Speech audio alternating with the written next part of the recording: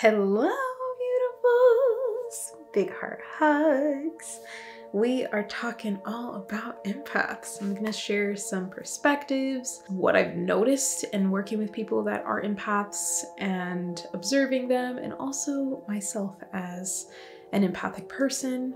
I want to first start with what an empath is, and I feel like there have been multiple definitions, so I'm gonna going to share with you what my guides have offered me and what I've come to in my own experience. An empath is basically someone that has a higher sense of experience and feeling when it comes to emotions, whether it's for themselves, for the people around them, communities, whatever it is that they are exposed to.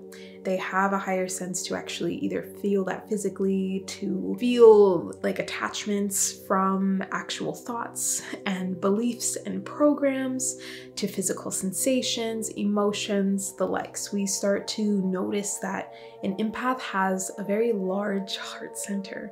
We all truly do have a very large heart center. However, an empath may be just simply more aware and in tune with this aspect of themselves. So this is a highly sensitive person, and this could also be just a very compassionate person, someone that can deeply understand because they can have a sense of feeling through the senses of what it is that someone else is going through, what it is that they're experiencing or witnessing in front of them. I've gotten many questions about empaths, and I want to share a couple perspectives when it comes to knowing and identifying with being an empath. So, me myself, I don't necessarily label myself an empath. Feel I have empathic abilities. And I say this because I've reclaimed this empathic part of me as a gift, as a part of my psychic gifts, as a part of myself as a healer to offer for others. And I've allowed myself to come into more sovereignty within that sense of power. However, I do feel that those of us that call ourselves empaths may feel very attached to the term. We may think that because we are empaths, we need to look at things that are only geared toward empaths.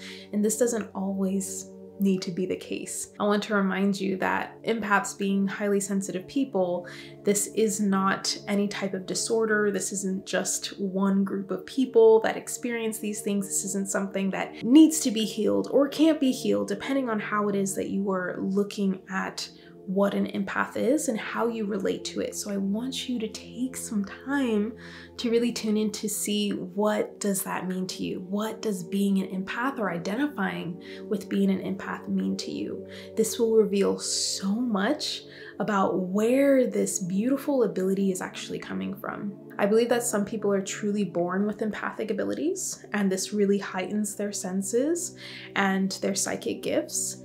And this is a wonderful thing that we can gain from our soul, our connections, and also our ancestors. That's one perspective of being an empath. Another perspective is recognizing that really tuning into your empathic abilities is caused by your family system or your environment growing up being unstable, or where you were in a situation that you had to read someone's emotions, their feelings, know what they're thinking so that you can act accordingly so that you can make sure that you are safe and you have stable ground that you are still in good standing with this said person or multiple people within your life thus creating an empathic ability to survive. So, this is more so a survival mechanism, a protective aspect of self, rather than something that is empowering. This is something that is just keeping you safe, just allowing you to recognize how this person is feeling so that you can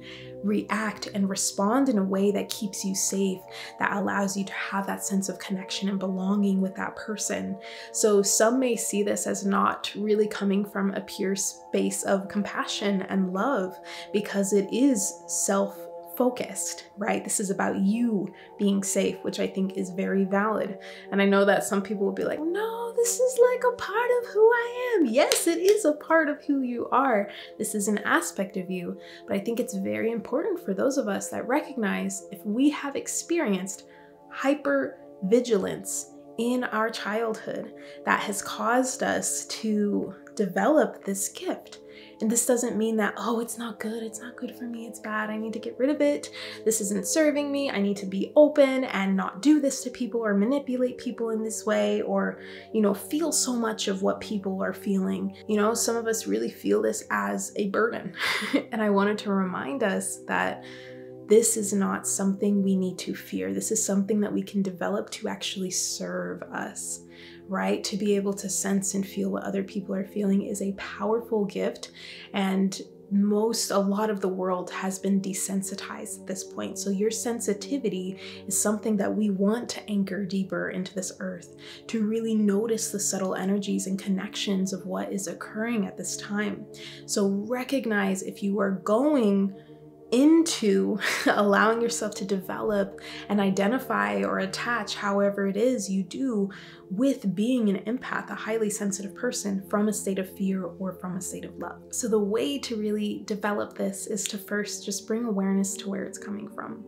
Offer love, connect to yourself, you know, there is no harm and and fear that needs to go into having a daily cleansing ritual or practice for yourself so that you are connecting with your energy you're calling and claiming all of your energy back to you. This does not need to come from a space of fear because you're an empath. No this is because you really honor your energy your sovereignty, your power, your ability to embody what it is that you are here to embody, your authenticity, your expression. So, this is an opportunity for you to create a more solid connection to your intuition, to your sense of being, to your emotions, to recognize what is yours and what isn't. And I know that this is something that I touched on a bit in my video that I did who knows how many years ago. but you can check that out if you want to. If you are someone that is struggling with recognizing what is yours and what is not yours, this is an opportunity to go through those practices of cutting any cords, cleansing, calling your energy back, creating a beautiful grid of light or shield around your being so that you can connect to your connections, your multidimensional self, your soul, your heart what you are feeling right now on a daily basis. Check in with you before you go check in with everyone else. And if you do not have that option, it does not mean that, like, oh my gosh, I'm not gonna know who I am. There's that fear coming in. you are right here. You have the power to bring yourself back here and now to recognize when someone is speaking to you, sharing something with you, coming into your the field of your heart if you are experiencing something physically, if you have thoughts starting to come in, whether it's instant or maybe after the meeting, because we can hold and connect or attach or have cords and ties with people that we interact with for minutes, hours, days, however long. So we get to use this as a playful practice to recognize, like, okay, hey, as they were talking about their throat being dry, mine started becoming a bit dry. So then instead of attaching that to that and having fear about it, we can just know that this is going to pass and we can do a little practice, a little breathing to come back to ourselves. And as soon as that person is out of your field, that will start to dissipate right? And I know that introverts may experience the sense of draining, right? If anyone identifies or attached to this term, I just want to make a note that you are so much more than these terms and these labels, okay? You are so much more than that. This is just an aspect, uh, just like a little drop in the concoction of your essence, just FYI. Introverts, those that identify with that, feel drained when they are around a lot of people for a lot amount of time and they feel like they need to regain power, they need to refuel, they need to rest to feel recharged. So, this is also a very empathic thing because you are experiencing and letting yourself be affected without fully allowing yourself to recognize what is yours and what is not yours, right? To recognize that you do not need to attach to everything that is flowing through you at this time. And this doesn't mean that you can just be an open vessel to anything. You have the choice to close yourself off to this. Just want to let you know. Yes, this is your gift. Yes, this is something that you get to reclaim as a powerful aspect of self but you can also close off to it. Every single psychic gift you can close off to. If you are really wanting to allow this to be an experience of unconditional love for yourself, this is an opportunity to embrace that part of you and to learn how to feel more stable in your foundation without it feeling like an earthquake, shaky, shattery, and just anxious overall. Meet those part of yourselves every single day. and this will empower more deep protection so that you are doing it from a sovereign space, so that you're doing it from the aspect of self that feels strong, that feels connected to your heart. I know that for me, even in the moments where I may be feeling a lot of things, I just connect with my heart and I recognize, like, hey, this is my intention, this is where I'm going, even though I'm feeling all of these things. It does not mean that I am, you know, doing this practice out of fear. This means that, like, okay, I'm intending to do this out of love. So make that your intention no matter what it is that you are experiencing. So I am so curious your thoughts, anything that you want to share. If you are in a state of kind of like flightiness, a lot of like this air energy, and you're not feeling very grounded, I invite you to tune into your roots, which is tuning into your values in your life. Take some time to connect with yourself. Check in. If you're feeling things, try not to just grasp onto it and attach to everything and follow all of the trains of thoughts. Just practice observing practice observing the sensations, the emotions, the thoughts that are running through you, the energies that are passing through you. Notice your reactions, your responses to this. Take ownership of those responses and move forward, reflect, journal on these things so that you can begin to regain that sense of centeredness and groundedness. And from that place, after you've connected to your heart, observed what's going on, I want you to ask yourself what are your core values? What is your why for being here? What are you here to anchor in? What are what frequency are you wanting to emit when you walk into a room, when you talk to a friend or a family member, when you connect with animals and plants and walk on the earth? What is something you want to uphold throughout your entire life? So and so was always what? right? What was your impact? What is it? What are your core values? This will immediately allow you to see a foundation that is aligned for you.